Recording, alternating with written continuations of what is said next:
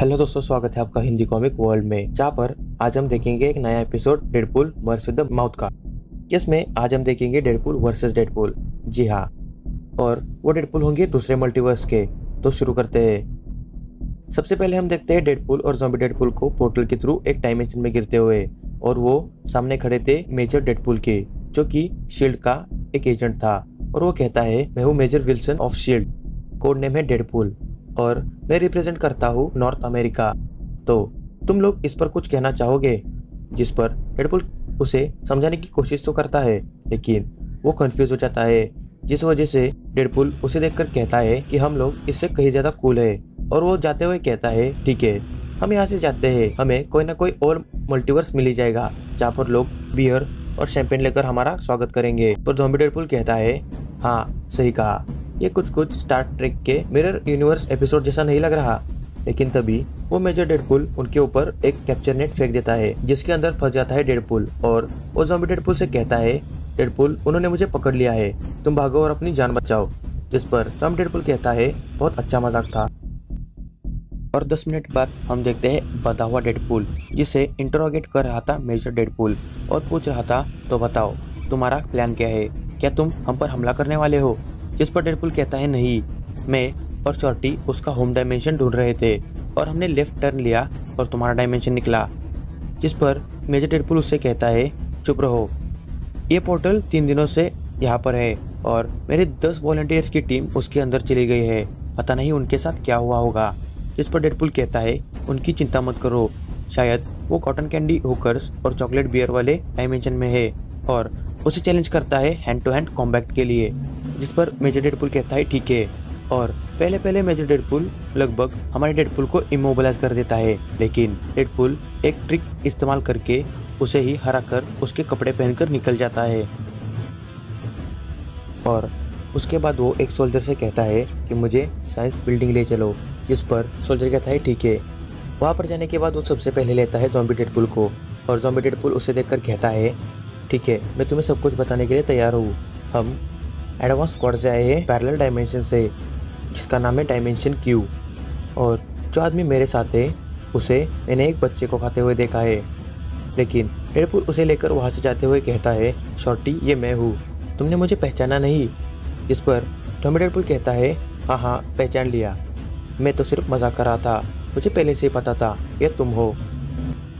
Deadpool zombie Deadpool के साथ उस पोर्टल की तरफ़ भाग रहा था, लेकिन उसी वक्त होश में आ जाता है मेजर डेडपुल और उन पर गोलियाँ चलाने लगता है। लेकिन वक्त रहते डेडपुल और जॉम्बी डेडपुल उस पोर्टल के अंदर कूद जाते हैं और दूसरे डायमेंशन में निकलते हैं, जहाँ पर डेडपुल कहता है, अरे यार, ये क्या है? यहाँ पर तो ऐसा लगता है कि ये जगह खंडर बन चुकी है। ज़रूर यहाँ कुछ बुरा हुआ होगा। और, मेरा वो हेलमेट और वेस्ट कहाँ है? ऐसा इसलिए हुआ क्योंकि पोर्टल के थ्रू ट्रेवल करते हुए सारी चीज़ें रह जाती है और तभी वो बाहर देखता है कुछ लोगों को। जो कह रहे थे, हमें जल्दी करना होगा। ये हॉट जोन है। इसे पार करके ही हम हमारे सेफ़ बेस तक पहुँच सकते हैं। तो जल्दी करो। उसके बाद उन लोगों को देखते हैं सेंटिनल्स, जो उन्हें मार देते हैं। और कैप्टन अमेरिका आगे आकर उन लोगों से लड़ने लगता है। लेकिन तभी कैप्टन अमेरिका को एक ज़बरदस्त किक पड़ती है और वो देखता है सामने लेडी डेडपुल को, जिसे वो कह रहा था तो तुम नमक हराम बाहर आ ही गई। मैं तुम्हें मारकर इस नेशन की गंदगी साफ़ करूँगा। जिस पर लेडी डेडपुल कहती है, कैप्टन, मैं तुम्हें चैलेंज करती हूँ कि तुम यही सारी लड़कियों से कह कर दिखाओ। ये सब देखकर डेडपुल कहता है, वाओ, ये कितना अच्छा है। जिस पर जॉम्बी डेडपुल उससे कहता है, मुझे नहीं पता था हम लोग इतने हॉट है। मुझे अब पता चला कि मैं डायनोलैंड से पोर्टल के ज़रिए तुम्हारे साथ यहाँ पर क्यों आया। तभी दूसरी जगह कैप्टन लेडी डेडपुल से कह रहा था अभी भी ज़्यादा देर नहीं हुई है लेडी तुम हमारे साथ आ सकती हो.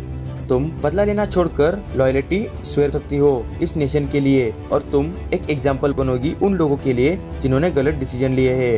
लेकिन उस पर लेडी डेडपुल कहती है, नहीं, अब बहुत देर हो चुकी है और तुम उस गवर्नमेंट के बारे में बात कर रहे हो जिसने हमसे हमारी आज़ादी छीन ली, जिसने इस स्टेट को एक तानाशाह स्टेट में बदल दिया अपने खुद के मतलब के लिए और शील्ड भी इससे अलग नहीं रही.